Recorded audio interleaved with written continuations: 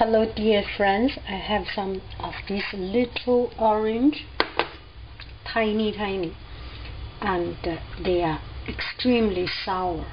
I do not know the name of it, so I decide to cook it, to uh, uh, marinate it.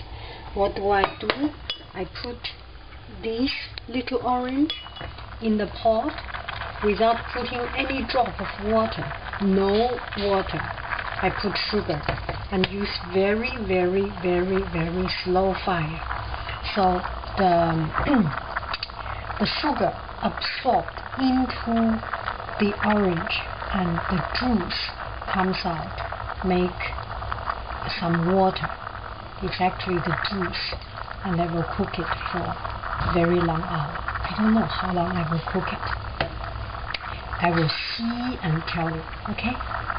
See you later. And now, see the, the juice is coming out. See you in a few hours.